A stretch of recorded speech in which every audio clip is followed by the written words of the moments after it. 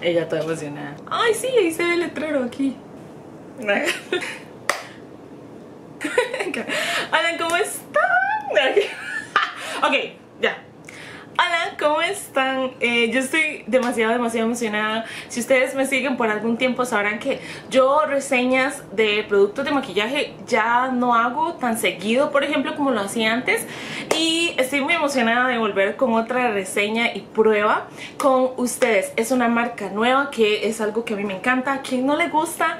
Eh, no sé, ustedes coméntenme si ustedes que me ven les gusta cuando les enseño cositas completamente nuevas, o sea, marcas que nunca han escuchado y por medio, yo siempre les he dicho, por medio de mí ustedes pueden lograr probar un poco. Yo siempre soy muy muy sincera con ustedes. Aquí todo, bueno, esto lo compré con mi dinero, así que a la única a la que le afecta o le beneficia si va a servir o no el producto es a mí. El día de hoy les voy a estar contando y yo se los comenté por Instagram, así que síganme por allá si ustedes quieren saber como que de primera mano qué es lo que voy a hacer o qué es lo que estoy planeando para videos. El día de hoy vamos a probar una marca que se llama Ultramo.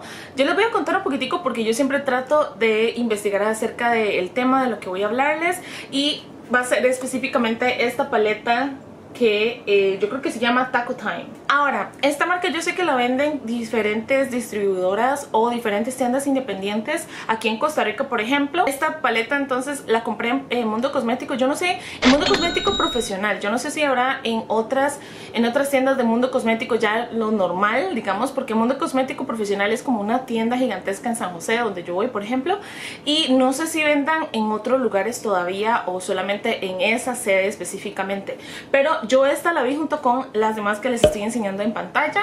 Todas, cuesta, eh, todas costaban lo mismo, 12.990 colones. 8. Oh, ok, déjenme contar que cansado. 1, 2, 3. Son 53 tonos y es una paleta bastante grande. O sea, bueno, no solamente en empaque, sino en la variedad de tonos. O sea, entonces esta va a ser la que vamos a probar. Estoy planeando hacer dos ojos diferentes para tratar de utilizar la mayor cantidad de tonos. Eh, y les cuento entonces un poco, estuve tratando de buscar la página oficial de la marca Ultramo. No la he logrado encontrar. Eh, no estoy segura exactamente entonces de dónde sea. Aquí dice que está hecha en China pero está distribuido por una tienda. Yo lo busqué en Google y no me aparece como que ultramos, cosméticos.com o un dominio que sea exclusivo de la marca. Si no me encuentro muchas distribuidoras al mayor, al por mayor. Y por eso es que no estoy segura, yo sé, sí sé que la venden en México porque vi montones de reseñas y todas prácticamente son de México, eso es de que, eh, aunque es, ay, que vean, doy bastante contando las sombras y aquí dice 54 sombras. Viene en esta cajita cualquier cosa, súper súper bonito, yo en el lado derecho en el ojo derecho tengo el corrector de LA Colors. Ay, chiquillas, hace tanto tiempo que no hago esto. ¡Qué emoción! Em, en el lado derecho, en el ojo derecho tengo este corrector de LA Colors. Ultimate Cover, este es en el tono Golden, que sé que muchas eh, utilizan corrector como primer. Este lo que tengo es el primer que siempre utilizo, mi favorito, Urban Decay Primer Potion. Este es el que estoy utilizando en el izquierdo.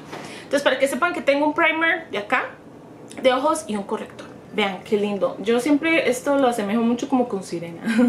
es como un glitter muchísimo más grueso que este, por ejemplo. No sé si lo ven que ahí se ve el, la sombra de fondo, digamos. O sea, el lado donde está agarrando la sombra en glitter. Como el metal. Entonces no estoy segura si tal vez los glitter tenían algún tipo de cremita que los hiciera más fácil, ¿verdad? De aplicar y que tal vez se secaron. No sé, cuéntenme ustedes si tienen la paleta y tal vez ustedes me digan, no, sí, sí, o sea, sí se aplica pues mucho más fácil o así. Yo tenía una paleta de glitters que sí tenían ese, como les digo, esa cremita, ¿verdad? De por medio eh, para que fuera más fácil, como si fuera una sombra en crema, pero con glitter. Y eh, esa nunca se me secó, entonces no estoy segura. Pero bueno, lo que voy a hacer es crear un ojo. Ustedes lo van a ver en cámara rápida y luego de eso voy a estarles comentando eh, qué me pareció, si me parece polvosa, si me parece pigmentada, fácil de difuminar y luego vamos con el otro ojo. Así se va a hacer más fácil para ustedes de ver cómo se aplica mientras yo les cuento. Y pongo el ventilador y pongo música, entonces es más fácil para mí. encantó ese rosado, es muy muy lindo, agrega ese highlight, ese pop de color muy bonito, hace que se resalte. Y agregué entonces el color fucsia, ¿verdad? Un color moradito y rosado y eso fue lo que eh, les cuento. ¡Oh, qué susto! Ahora me asusté un montón. Ok, primero voy a agarrar otro espejo porque esta paleta es un poquitico pesada de estar agarrándola así. Y es que yo para maquillarme, que ustedes me vean y, ¿me entienden? No... Para yo tratar de utilizar este espejo a ver qué tal si es pues utilizable, valga la redundancia eh, sí se puede utilizar, pero es un poco cansado, entonces voy a agarrar un espejo de mano. Ok, ¿qué les tengo que decir? Bueno, al principio yo lo que hice fue tomar básicamente los tonos rojizos. Hay un tono que es como un café cálido muy bonito, oscuro. Y el de la par que es como un vinito. Es un color muy muy bonito. Eso los utilicé para profundizar. Luego utilicé un naranja intermedio. El naranja neón que fue donde yo me quedé como, ¿what? Porque no se ve, o sea, sin ningún tipo de base blanca no se ve. Como que no se vio tan bien, pero lástima, porque es un color que le da mucha, mucha vibración al maquillaje. Ahora, eh, yo luego de eso intenté aplicar el color naranja, pero como metálico. Pero si quieres algo mucho más vibrante y llamativo, te va a quedar debiendo. Como el turquesa, que ese sí me quedó como, uh, como, como medio ahí dudando. También en cuenta que volví a rehacerle el, ojo, volví a colocarle el primer y esta vez le apliqué encima un corrector claro.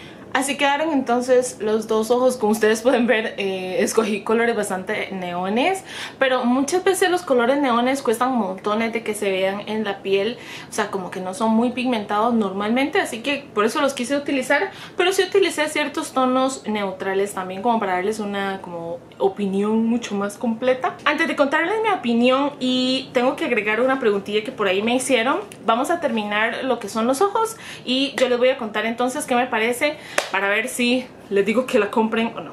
Bueno, así fue como quedó ya con lo que son las pestañas. Estas pestañas yo las amo. Son de Prolux, se llama Chula el modelo. Quiero incluir en el video una pregunta que me hizo Mari, gracias Mari. Eh, ella sin querer, ella me hizo la pregunta, pero yo dije, eso está genial para incluirla en el video. Y sería, ¿qué piensas de la marca? Saca paletas copia inspiradas en otras marcas. Ejemplo, la primera paleta de taco la sacó Glamlight. Glamlight, eh, yo les voy a poner también imágenes para ver la comparación eh, y ustedes pues ahí me comentarán qué, les parece también esto de la idea de inspiración, copia, ¿verdad? De agarrar una paleta popular y hacer su propia versión o copiarla. Tienes una idea, la sacas y tal vez otra persona también la agarra de ahí.